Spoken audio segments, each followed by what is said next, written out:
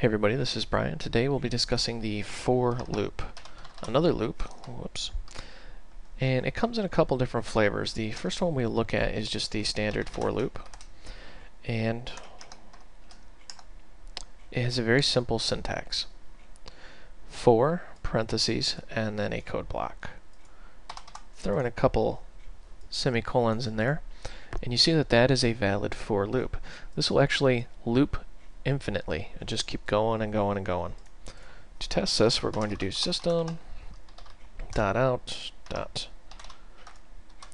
print line. And we will say mm, x.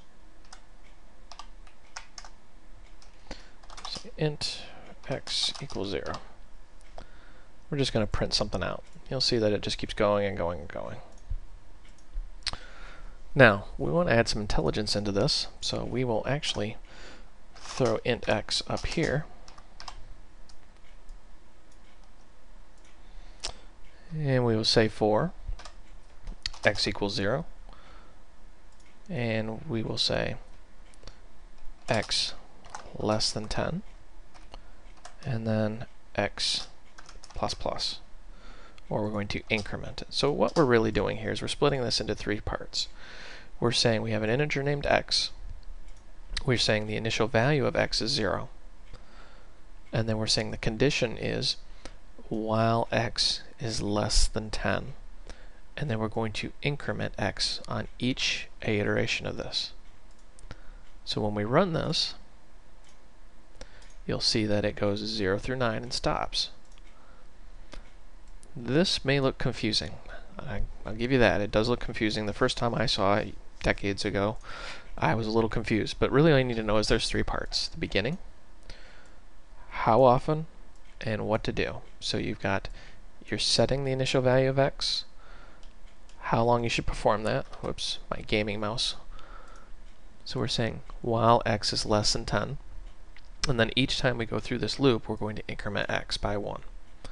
And you can decrement or do whatever you want, but that's the basic for loop. Now you might be wondering what you'd want for loop for. Well, for loop is handy. Let's say you've got uh, five people you're working with. Well, you can loop, you know, person one through five. Or I'll give you a better example right now of enumerations. We covered enums, and we're just going to use animals. And we'll use the familiar bird, cats, dogs. And we will use the other version of the for loop, which is the shorthand for for each.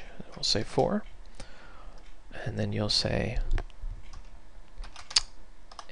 animals, m type, and then we will say in animals dot, and we're going to say values.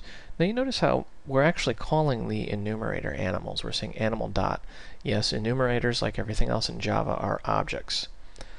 And this object has values, which will return an array of animals, which I don't think we've covered arrays yet, but we'll get there.